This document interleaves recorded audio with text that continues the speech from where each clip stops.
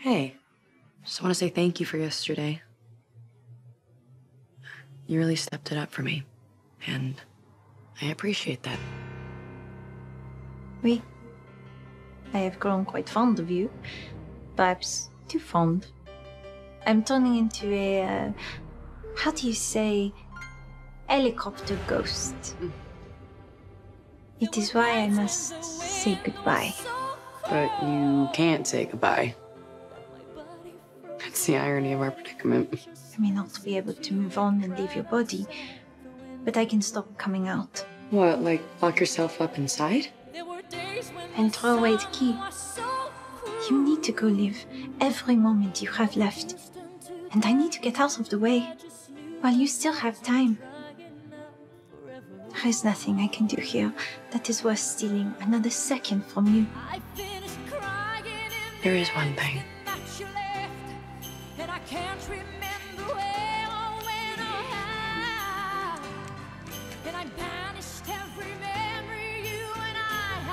Go find Bess and give this to her, okay? Just when I felt like For you. Do you remember me, Barry? When I disappear into the depths of George's unconscious.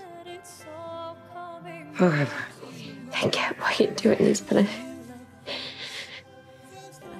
don't want to say goodbye. You and I may have been a fantasy, but you have made me whole again.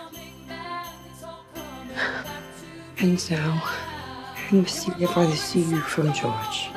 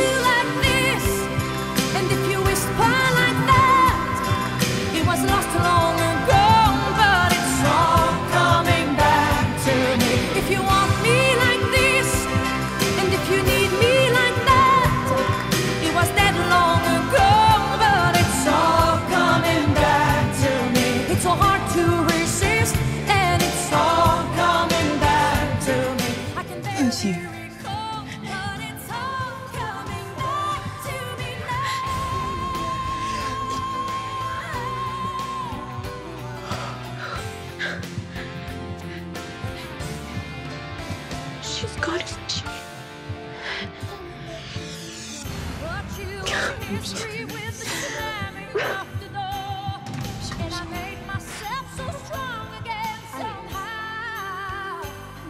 And I never wasted Hey. any Hey. of my time Do you like it? I Love it. I want to be more like you. Start living my life now. No more delayed gratification. No more waiting. Okay, well, what do you want to do first? Marry you. But it's all coming back Good one. No, Touch me like this. Nick. And if I kiss you like that, it was gone with the Ned wind, Nickerson. but it's all coming back to me. It's Will you all marry